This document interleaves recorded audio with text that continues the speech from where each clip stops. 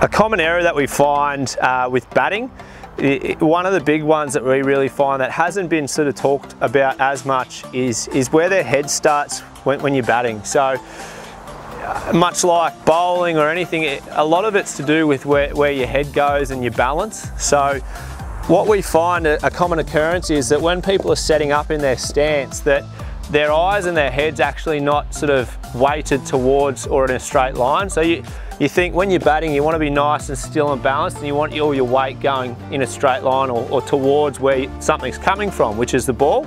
Okay, so you want your eyes to be nice and level in a straight line. But what we find people do is they get nice and lazy and they sort of have their head still over to the side or they're actually looking at mid-off, which automatically gets your body in a position to sort of lean towards the offside.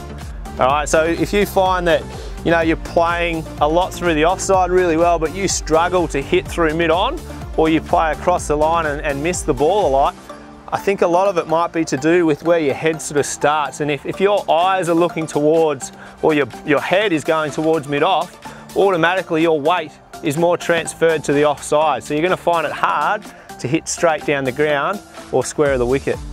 Right, we've got a lot of resources available that we can help you with that. So I think if you find that you're having trouble with it, um, we've got a heap of stuff that we can use to help you out.